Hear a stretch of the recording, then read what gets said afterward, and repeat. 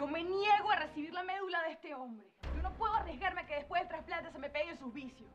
Pero bueno, muchachita, vas a seguir con la descarga y te voy a salvar la vida. Y en cambio, cuando me recupere, seguramente me voy a convertir en una delincuente como usted, una irresponsable. Voy a abandonar a mis hijos. Bueno, con lo malandro que es, Eh, quién Héctor. sabe.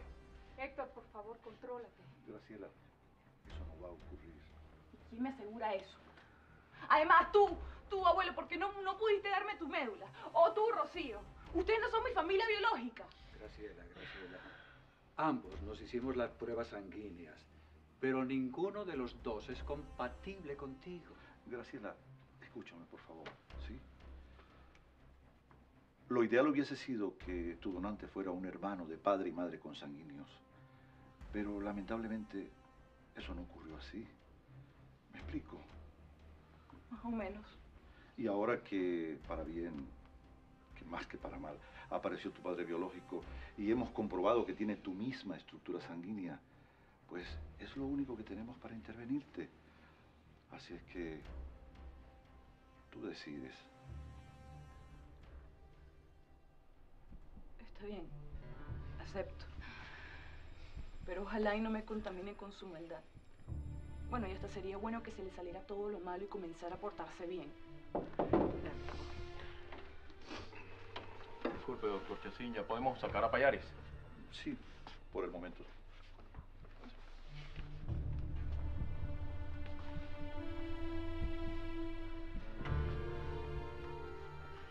Ahora,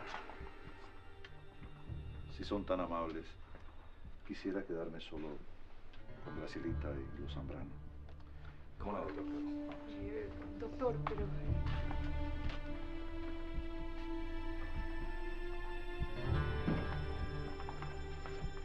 ¿Qué pasa, mamita? ¿Qué te viene, mi amor? ¿Qué pasó? Mamá. Mamá, es que me hace mucha falta mi vida.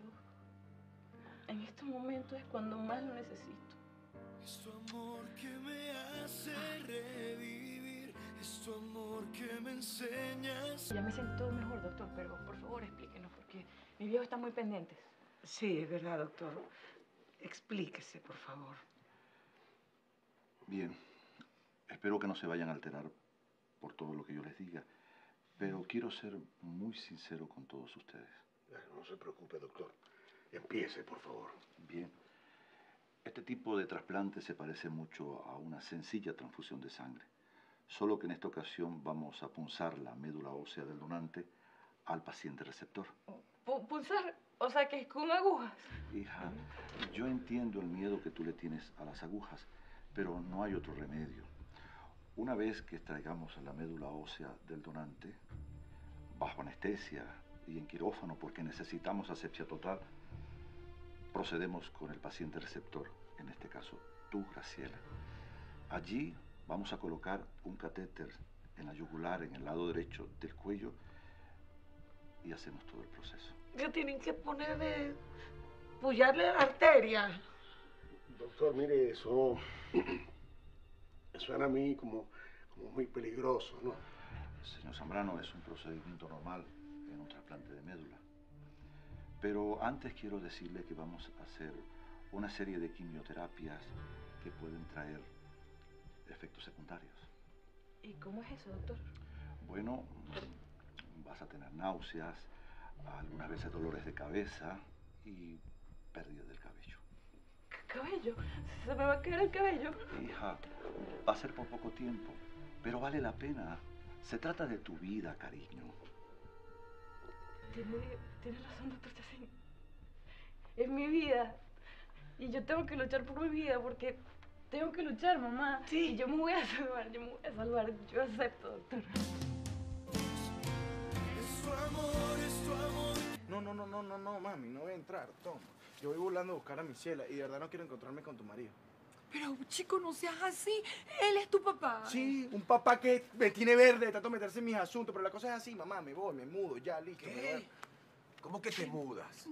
Pero bueno, tú no estabas de viaje, David. Sí, estaba de viaje, papá, y bello que te quedó mandarme a Nancy a perseguirme, pero perdiste el disparo. Toma.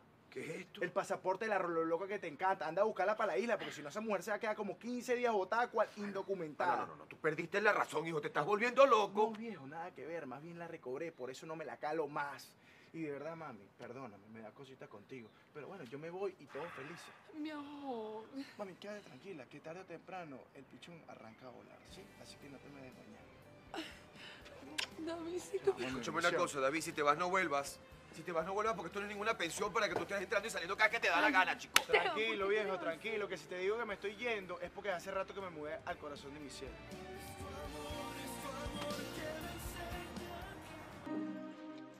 Hola. Hola, ¿cómo estás? Dios las bendiga.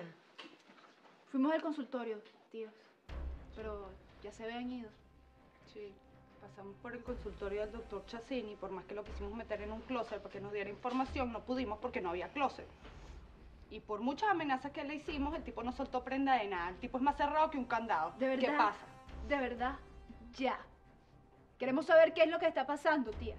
Eso no puede ser que nos sigan ocultando cosas. ¿Hasta cuándo van a pensar que somos unas niñas? Viejo, ¿por qué no me dejan solas con ellas? Por favor. ¿Qué pasa? ¿Qué ¿Qué pasa? ¿Cuál es misterio?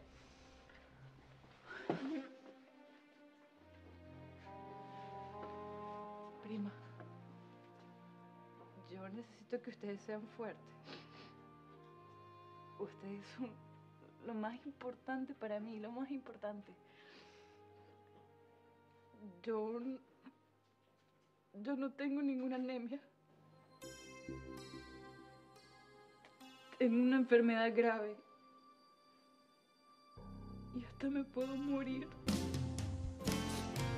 Es tu amor, es tu amor que me hace revivir. Tú no estás enferma nada, tú no te vas a morir.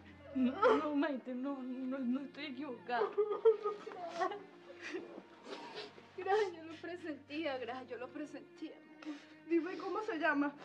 ¿Cómo se llama esa enfermedad? Porque ya mismo me van a meter en internet y voy a averiguar qué es lo que está pasando. porque ustedes, están, ustedes están equivocados, ustedes son humanistas. Yo estudié ciencia y yo, yo conozco. Ya, ya, no tiene que averiguar nada. Mamá, mamá, papá, por favor. Chama, no, Gran, tú no puedes estar enferma de muerte, nada, tú no te vas a morir. Tía. Mami, yo no quise decirle nada porque, porque ya había llevado el golpe de la adopción y no quise que sufrieran más. ¿Por qué, tía, nos ocultaron algo así? ¿Por qué algo tan grave? ¿Por qué? No, ¿qué- ¿Por qué hicieron? Discúlpenos. Discúlpenos. Sabemos que cometimos un grave error. Ay, no, no, mira, Pero yo no. sé que si ustedes apoyan a Graciela, con su apoyo, mi niña se va a salvar. Claro que se va a salvar. Pero a mi prima no le va a pasar nada, por supuesto que sí se va a salvar, ¿verdad, Gracielita? Que no le va a pasar nada. Pero bueno, Rafael, yo me voy un rato y toda esta historia se vuelve un desastre. Bueno, pana, ya por lo menos Abel consiguió el acta esa de matrimonio. Bueno, ahora lo que Candela va a hacer es decirle a Maite que tiene una chamita. Ah, ese Abel es puro cuento, Rafael. Ese lo que quiere es una revolcada y arranca a correr, eso es todo. Que va, mi pana, yo no creo que ese chamo sea molero. Es más, ¿sabes qué? Yo creo que quiere algo bien en serio con, con Maite. Lo que pasa es que ahora se empasteló con lo de la chamita. Mira, Rafael, hazme esa cauchada ahí con Cilia, pana. Anda. Dile que me haga la segunda con Graciela. Ya Yo monté mi tienda y, y bueno, aparte los viejos, ¿me entiendes? Y Dios mediante voy a tener mi propia casa y quiero casarme lo más rápido posible con ella. ¿Me vas a echar esa mano? Y el doctor Chacín dice que después del implante y la quimioterapia, bueno, van a aparecer algunos efectos secundarios que vamos a tener que tener con ellos calma y mucha paciencia. Tío. ¿Qué efecto, tío? ¿Qué le va a pasar a Graciela? Tío, háblanos claro. Va a tener malestar y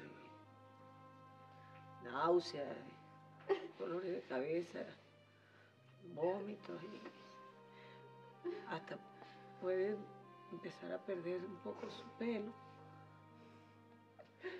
Pero no, no importa, no te preocupes, que eso no siempre es así, no se preocupen. No, no, no, pero es que, es que si se me cae el pelo no importa. Porque, porque va a valer el sacrificio, prima. Va a valer el sacrificio. Pero es que no, eso no te va a pasar a ti, Gran. Mira, mi hermana ya en Barranquilla, mi hermana mayor, antes, se pa- pasó por eso, ¿no? Y antes de que la operaran, ella le pusieron un pañuelo aquí en la base del cogote y ella, vaya para la llama, que no se le cayó el pelo. No, no, no. No, Aleida. se- no, no, es que no se Aleida. Bueno, pero no importa, porque entonces nosotras vamos a andar con un pañuelito para arriba y para abajo para que, para que a Grano le pase lo mismo, ¿verdad, Silvia? Ahí vamos a estar. Sí va, sí va. Lo que necesito que hagan es que, por favor, le, le cuenten al Vido lo de mi enfermedad. Mira, mío.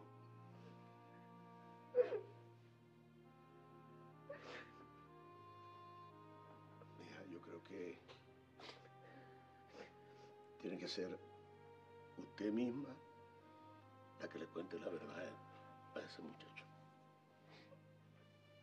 No, no voy a poder, papá. Yo no tengo el valor así para destrozarle el alma. No, no voy a poder, no, no puedo. Ay, no, no, demasiado.